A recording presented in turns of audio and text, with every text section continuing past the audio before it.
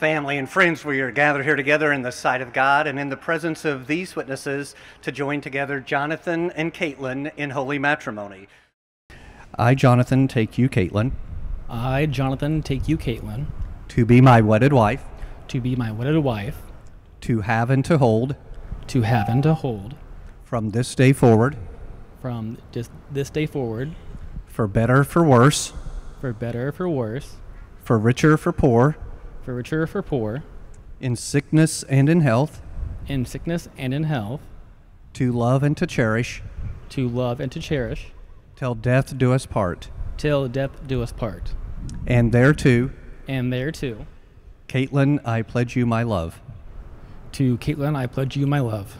And Kaitlyn, if you would repeat after me, I, Kaitlyn, take you, Jonathan, I, Kaitlyn, take you, Jonathan, to be my wedded husband, to be my wedded husband, to have and to hold, to have and to hold, from this day forward, from this day forward, for better, for worse, for better, for worse, for richer, for poor, for richer, for poor, in sickness and in health, in sickness and in health, till death do us part.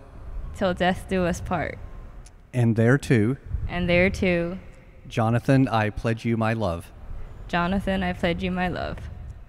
Now, Jonathan, Kaitlyn, may God the Father, God the Son, and God the Holy Spirit bless, preserve, and keep you both. May the Lord graciously, with his favor, look upon you and so fill you with all spiritual benediction in this life, that you also may have life together in the world to come. Amen. Jonathan, you may now kiss your bride.